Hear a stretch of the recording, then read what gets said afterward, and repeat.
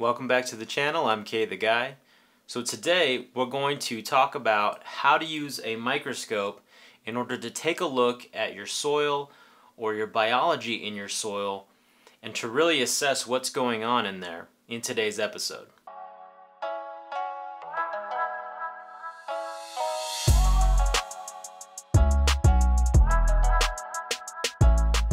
So in today's episode, I'm going to show you how to use a shadowing microscope in order to understand how to measure biology in soil as well as many other things. Now the great thing about being able to look under a microscope and understand or see what you're looking at is that you can use this tool in order to measure what may or may not be happening on the biological level in your soil with any of your plants. And with proficient skills at using a microscope, coupled with the knowledge of understanding what you're looking at, you can really track the health in real time of what's going on with your plants in the soil. But first I want to let you know that this is the first of three episodes of using the microscope. The first today, we're just going to go over the basics. The second episode is going to be on is how to test a soil sample, and the third will be how to test a liquid sample. A liquid sample could possibly be rainwater that you're using, or possibly ditch water if you're growing outside, or if you're using any kind of liquid amendment like a tea or an extract. You'll be able to take a look at what's going on under the microscope and really kind of determine is this good or is this bad?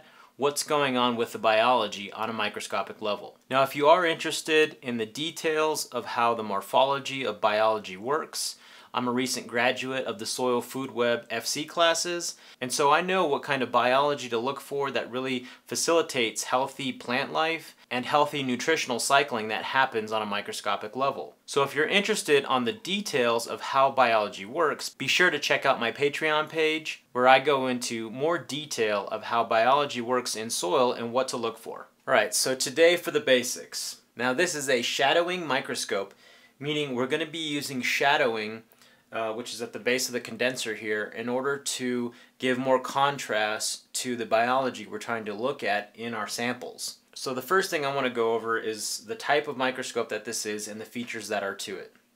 Now this is not a super expensive microscope.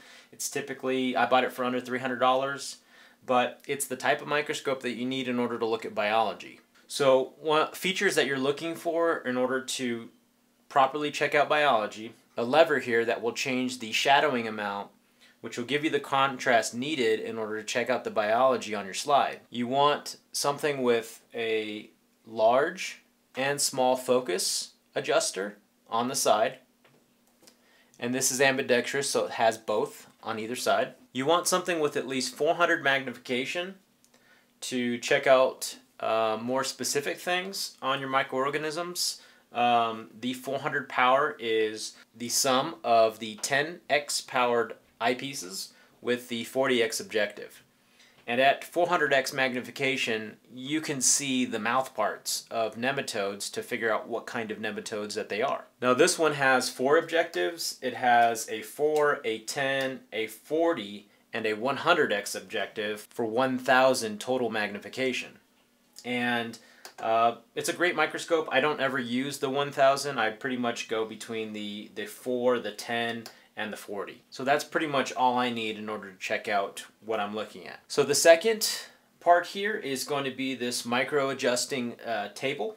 So you, you can do very small adjustments on the X and Y axis for your slide as you're looking at your sample. The next is having an adjustable condenser. Now this is what helps bring the, the background into focus. The third, and I would say is more or less uh, like an accessory or, not, or an option, is to have this third eye optic adapter. And this is where I use an adapter to put my iPhone on there and just adjust it so I can get shots uh, of everything and it makes it really easy so that I don't have to have an external camera to hook this up to a computer. So as soon as you have your microscope, the first thing you want to do is set it up, which you want to get your 10x eyepieces on.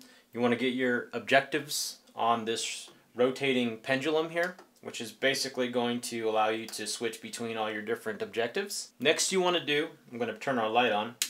Next you want to do is you want to go to your smallest objective, which in this case is the 4, and you want to bring this tabletop all the way to the very top. The next thing you're going to want to do is adjust the focus at this first objective. If you're like me and you wear glasses, you definitely want to take your glasses off.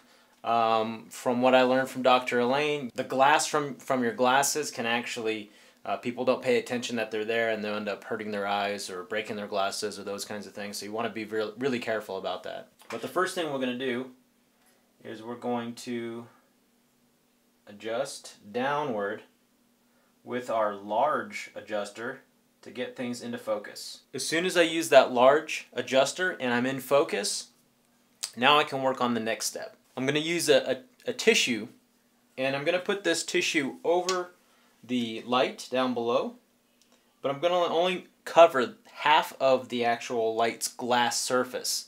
And what that's going to do is that's going to uh, enable me to adjust the background that's adjusted by my condenser in order to make sure that the entire slide I'm looking through is completely in focus. Now, when I'm focusing the condenser, I want to make sure that that tissue paper, the edge of the line of the tissue paper comes into focus and I can clearly see the edge of that tissue paper line. And that's how I know my condenser is in focus. Next, I want to individually adjust this eyepiece to make sure that I'm seeing a complete circle. Now that I know that I have a complete circle, my condenser is in focus, my focus knobs are in a greater degree of focus for the 4x objective. I want to close one eye individually and make sure that both of these eyepieces are also in focus. So first I'll close the left eye and just get a really tight focus for the right eye. And then I'll close my right eye, make sure I get a really good focus for my left. Once I have focus for both eyes, I'm ready to go at this point. So now that our microscope is all set up, now I'm going to show you how to set up your slide and get your slide ready for viewing under your microscope. First you're going to start with your slide. Now on your slide you want to make sure that you get your drop centered in the middle, X and Y axis, up and down, left to right, get your drop right in the middle. The second thing you want to do is you want to take your cover slip and you want to slide your cover slip over that drop which will start to spread the drop out. And you want to spread it out about the width of what your cover slip is. Once you've spread that liquid out, go ahead and slowly and gently drop your cover slip toward the center of your slide. Now, it may take some practice in order to make sure that you get this right, but once you get a little bit of practice, it doesn't take long in order to get your cover slip decently centered onto your slide.